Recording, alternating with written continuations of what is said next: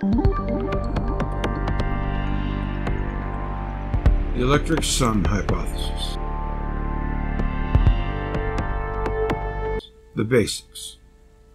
In this day and age, there is no longer any doubt that electric effects in plasmas play an important role in the phenomena we observe on the sun. The major properties of the electric sun ES model are as follows. Most of the space within our galaxy is occupied by plasma, rarefied ionized gas, containing electrons, negative charges, and ionized atoms, positive charges. Every charged particle in the plasma has an electric potential energy, voltage, just as every pebble on a mountain has a mechanical potential energy with respect to sea level.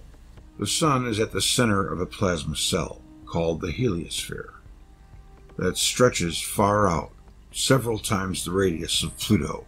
As of 9-9-2012, the radius of this plasma cell has been measured to be greater than 18 billion kilometers, or 122 times the distance from the Sun to Earth. These are facts, not hypotheses. The Sun is at a more positive electrical potential, voltage, than is the space plasma surrounding it, probably in the order of several thousand volts. Positive ions leave the Sun and electrons enter the Sun. Both of these flows add to form a net positive current flowing through the Sun, entering at the poles and leaving radially at lower latitudes.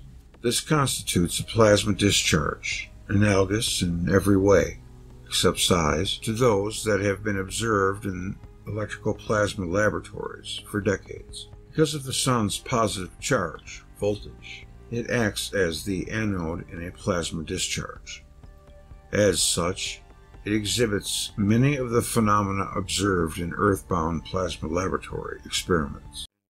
In the plasma universe model, cosmic sized, low density currents create the galaxies and the stars within those galaxies by the electromagnetic Z-pinch effect.